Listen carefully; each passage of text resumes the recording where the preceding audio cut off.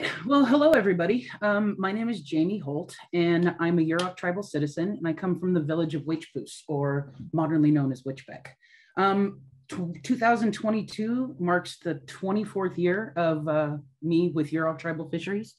You have to excuse me, I'm a little nervous. I've actually never done a Zoom presentation, but um, so today we're just going to kind of cover the importance of salmon to not only Yurok people, but all people of the Klamath system. Um, we're going to touch a little bit on um, the health of our river, the, the way it is now, um, the way that we hope to see it, and the ways that we as Yurok people contribute, um, and the ways that science contributes. So um, I think I'm just going to roll right into it. Bear with me here. All right. Um, can you guys all see my screen? Because again, I cannot see you. So yes, we can. All right. Well, here we go. So I like to start with this picture. This picture was taken around the year 1900. This is the mouth of the river. Um, as you can see, excuse me, Orega still looks pretty similar. But the reason that I like to show this is, is this is an undammed system. And an undammed system was actually able to support a ship offshore. Um, you know, as many of you know, we are in hopes of some dam removal in our near to immediate future. Um, it's an amazing thing. Um, so, uh-oh. Hang on.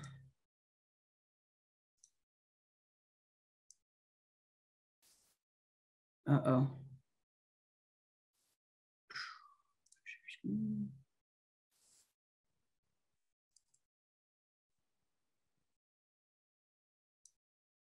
Okay.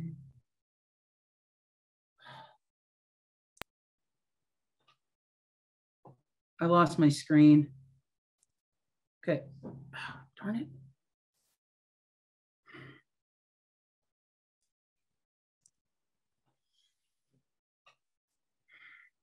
I apologize, folks.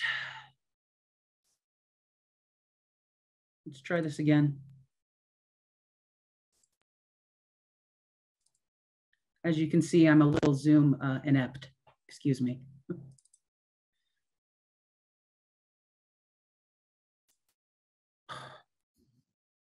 You're doing great. Thank you, Jamie. All right. You guys are just seeing that screen. What I want you to see is a picture of Iron Gate Dam. We're getting there, folks. I'm sorry.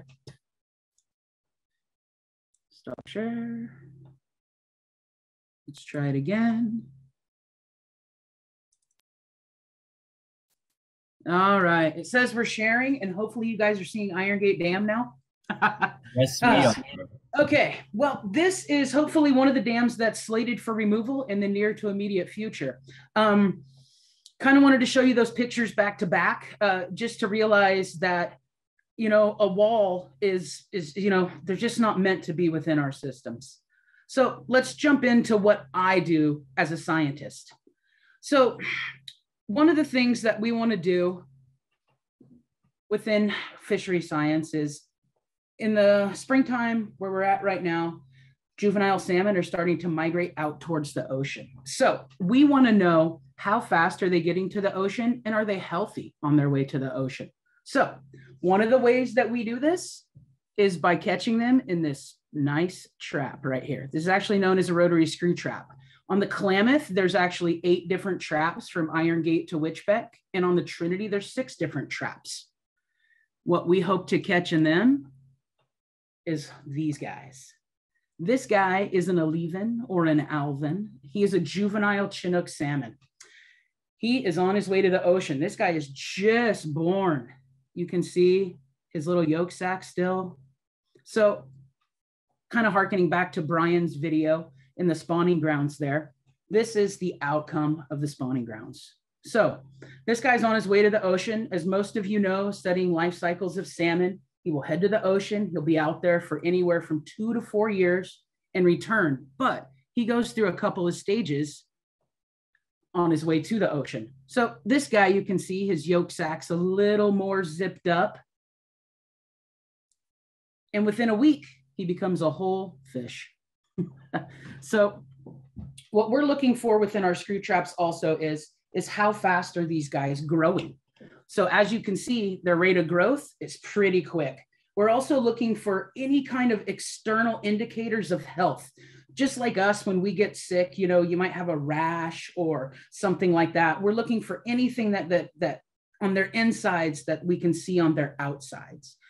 Last year on the Klamath River, we actually seen an outbreak of C. shasta, which is a disease that affects these poor little guys.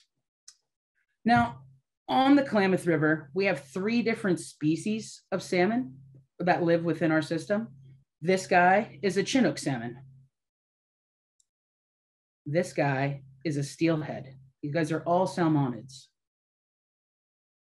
This guy is also on his way to the ocean. this guy is a steelhead a little bit bigger. Again, we're looking for growth rates. How fast are these guys growing? How fast are these guys moving? One of the important things to realize about movement within the river is flow is extremely important for these guys. So going back to dam removal, we're really hoping to see that these guys get some more water, some more sediment, some more everything to keep moving. So we also have coho salmon. They're very slight differences between these guys. That's one of the things that you kind of just learn as you go along. so the next slide I'm sorry, I'm, I think I'm kind of reeling through these a little fast. this next slide you see, the top here is actually a brook trout. He's related to a steelhead, which is this guy. And then this guy at the very bottom is a coho. Again, very, very indistinct differences, but they all share the same river. So fish need to eat. and one of the important things also to think about within dam removal is one of the important things to think about within dam removal is um, everything in our system needs to eat, including ourselves. Um, fish eat bugs, and fish also eat other fish. So let's kind of dive into fish food.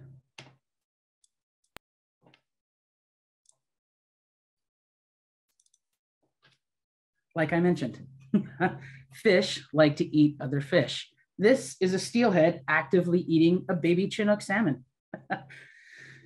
Uh, so other fish and baby fish also eat different types of invertebrates that live on the bottom of our river. So again, to harken back to dam removal, one of the things that dams cause also besides lack of flow of water is lack of flow of sediment. Water moves sediment. All things that live within the water need sediment. These guys that you're seeing right here, this is a stonefly, a giant stonefly getting ready to emerge from his shell. You can see him getting ready to pop out right here.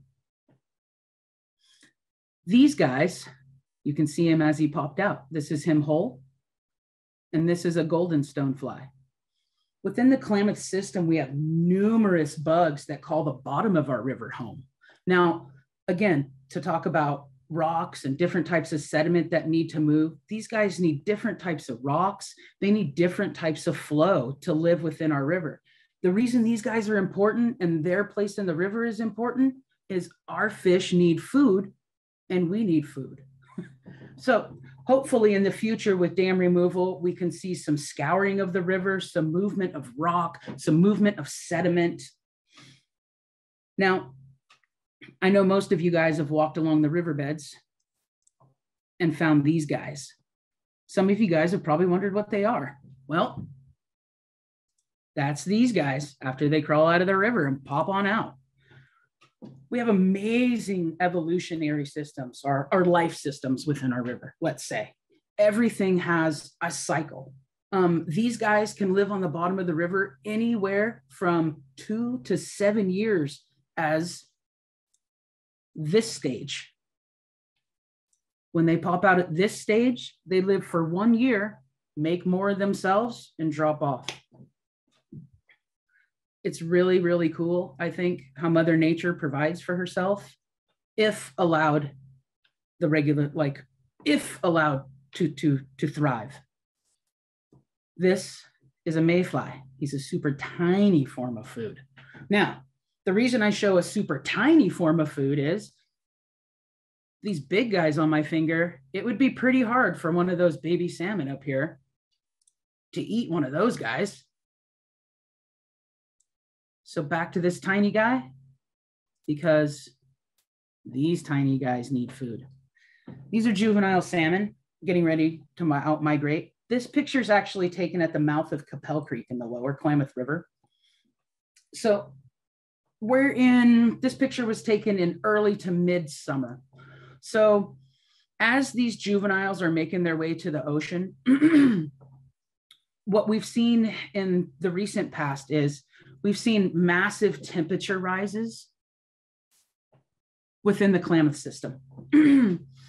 and what happens when the water temperature elevates, the fish slow down. So, just like us in the summertime, when we want to cool down and the river's hot, we head to the creek, right? Well, these guys do the same exact thing. So, as I mentioned on that large trap that I showed,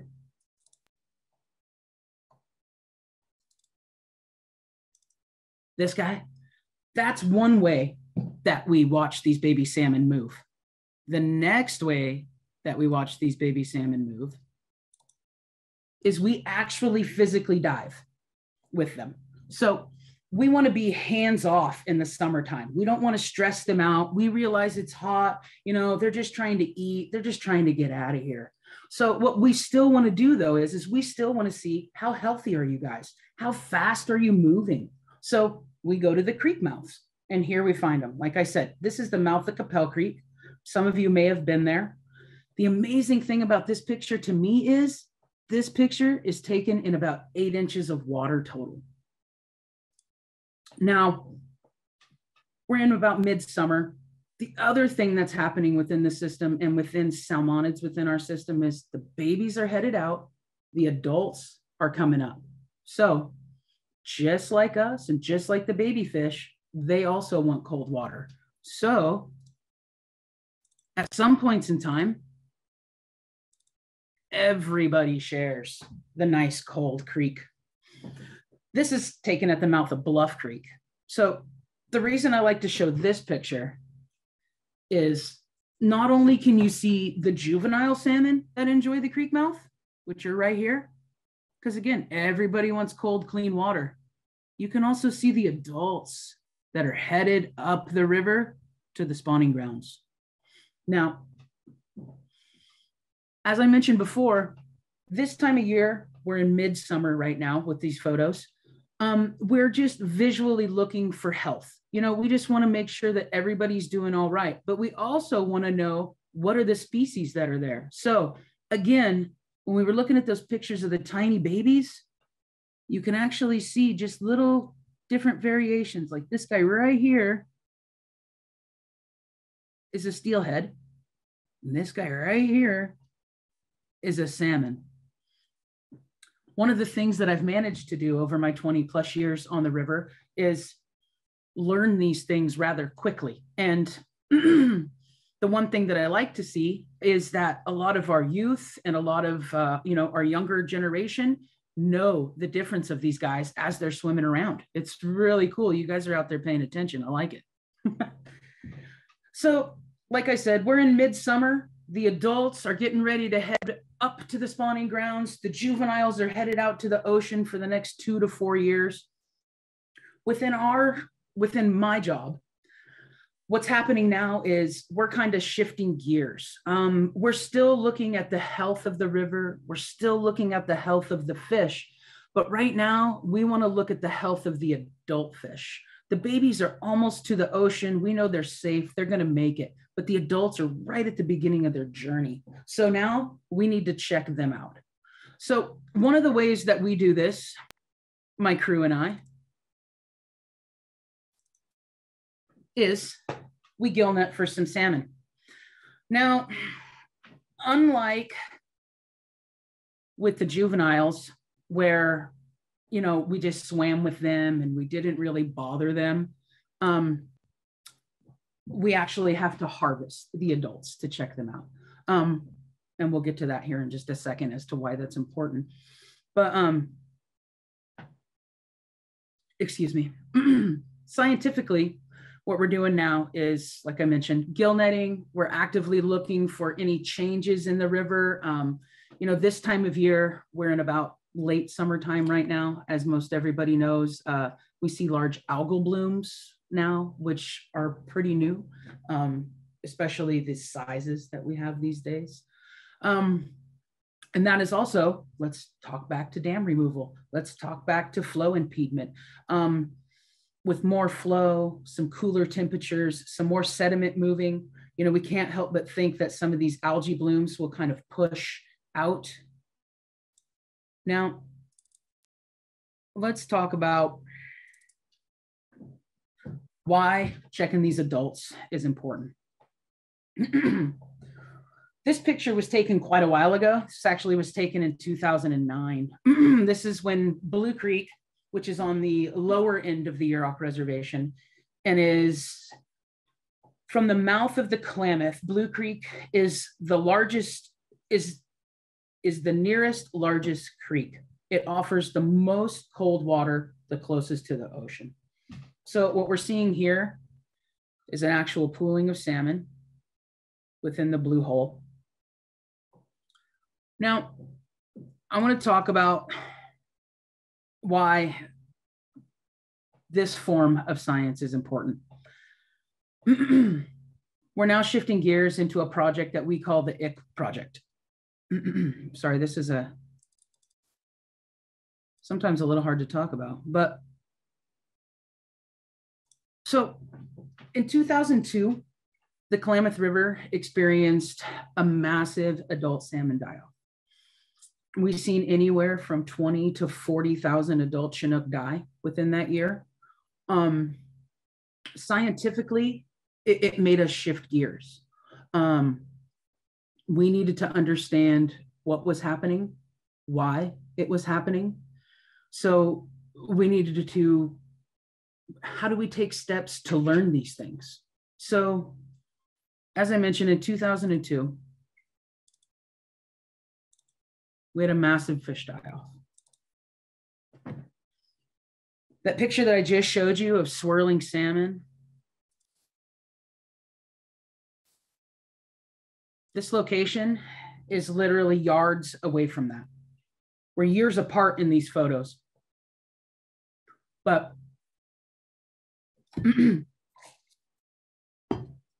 as you can see, this, excuse me, as you can see, this massive die-off of salmon here, um, this was caused by a disease called ick. In 2002, this disease thrived within our river to the point that, that this happened. Um, this was one of the major pushes towards dam removal talks and trying to make that a realistic goal. Um, you know, seeing something like this is is is is is a reflection of lack of flow, lack of uh, quality of water. Um, we need more flow. Uh, sorry. So let's look at this. This massive die-off was caused by that tiny guy. This guy right here is the actual ick disease. It's the same ick. It's the same ick that you can actually get within your fish tank. So what happens with fish disease is, um, just like within people, we pass it by coughing, you know, we push it forward to people. Fish disease is passed horizontally because they breathe this way. So as all those salmon piled into Blue Creek there, you know, a couple of sick fish showed up. Everybody wanted cold water, just like we seen in those previous pictures. Everybody wants to be there. Now, just like we kind of seen with COVID, you know, you get in a small area, it passes really quickly. Same thing happened with ick there. What we're hoping to see in the future, if dam removal happens, and hopefully this is happening, you know, we won't see these things. This won't be a part of the future of our river. It will just be a thing of the past. So the importance of the importance of realizing let's see actually we're just going to move on here sorry so scientifically we are now in late summer. You know the juveniles are in the ocean. The salmon are moving kind of past us. We've harvested ours you know we have uh, we've filled our smokehouses and those kinds of things. We'll talk about the smokehouses and the importance of traditional food here in just a second. But uh, i just kind of want to finish out my year scientifically. So like i said in springtime we were catching those tiny baby salmon headed out you know going into summertime we're swimming with them we're checking them out we're making sure everybody's healthy now one of the last parts of their journey is like Brian's poem, is back to the spawning grounds. This is what I see when I go to the spawning grounds. Now, what I find really cool is these guys, salmon are just nothing but nourishment for the river, nourishment for the people of the river. They are amazing, amazing creatures. So, what we're holding up here is this guy right here is a male salmon. This one right here is a female salmon. One of the ways that you can tell the differences between the sexes here is check out the check out the girl. She actually used used her tail just like a broom to build those redds that we were seeing on Brian's video within the spawning grounds there.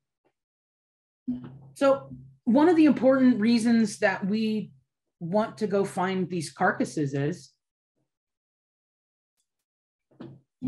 as tribal people, we have a quota of fish that we're allowed to catch each year. Sport fishermen are also given a quota of fish that they're allowed to catch each year. These numbers have to come from somewhere. So one of the things that I also like to mention to the youth is, is um, you don't have to get down and dirty within my job. You don't have to be out in the water touching fish all the time. If that's not your thing, that's fine. Um, we need statisticians. We need folks who write computer programs. We need all of that. Our fish need all of that. Our rivers need all of that. So just keep that in mind. So when we're trying to obtain these numbers, this project that we're looking at right here is one of the ways that we do it. You know, we need to have a general idea how many salmon are returning to the river each year. So now these guys are kind of small. I just like to show this guy because he's just a big old fella. Yep. You can see that the males get a nice big, they call it a kype, a big old, big old nose on him, a big old hooked nose. now, what is also amazing about these guys is, is I mentioned before that salmon are almost nothing but pure nourishment, whether that's for our bodies, for the river, for their babies, for other critters that live all over the system. When I took this picture, I didn't even realize, but this guy right here is nourishing a lamprey right there. Someone's getting a little snack off of him. But the amazing thing about this photo to me is, is when salmon hit fresh water, they quit eating. Now, those babies that we seen earlier, they're hogging down all the way to the ocean. That's their job until they come back is just to eat and grow big. So when they come back, all they want to do is get to the spawning grounds. You can see this white fungus, all of this right here. This is actually that fish reabsorbing his scales for nourishment like I mentioned before, not only is he nourishing us, some of those guys that were caught on the way up, you know, but he's nourishing himself with his own body. They're amazing creatures. So, like I mentioned before, also, they're food for everybody. Their bones get picked clean out there. You know, this fish was at the bottom of the river, but something drug him out, put him on a rock, and had some dinner. So, as tribal people, as tribal people, salmon are an important food source to us. As Yurok people, it's our major food source. Um, so speaking traditionally, one of the awesome things about my job is, is that those two things collide. Science and tradition collide daily. Um, if I can leave you guys with anything, it's to understand that native people, we were the first ichthyologists. We were the first, first fish scientists, you know? Um, the data sets that we're collecting now in numbers and in written form, we've had for thousands of years via oral stories, you know? Um, so when the frogs start to chirp or when the frogs start to croak, the lamprey are returning. When the dogwoods start to bloom, the sturgeon are returning. Those are stories that we've had for thousands of years. We're now setting flow, temperature to those indicators. So, like I said, we were those first things. So, some of the importance of native food existence this is me, lucky enough to be cutting up some fish and cooking it. And this is actually our traditional method of cooking fish. I'm sure some of you know this. We'll take a look at a uh, at a stick real quick. So it's an actual redwood stick, like a little spear. The wonderful thing about redwood is it's naturally non-stick. That's why it's used. It's also packs light. So you can feed a lot of people on a minimal amount of sticks. so, you know, traditionally, this was our major food source. And as Yurok people, this is why we were put on the Klamath River was to take care of these creatures. Um, I believe that we are making great strides in a good direction to take better care of these fish than they've been taken care of in years. I think this is just a beautiful shot. Most of you guys have probably seen fish hanging. But to sort of kind of wrap up my ramblings here.